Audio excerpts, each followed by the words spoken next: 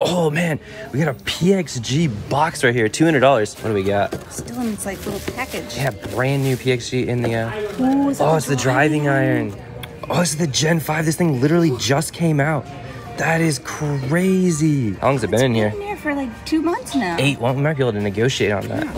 How's it going? Do you know what the best you can do on this is? What is this? The golf. It's just a box. There's nothing. in there. There's nothing to see here. How much are you looking for? I like you do 150? Mm, I can get to 160. 160? Can you do 160 out the door?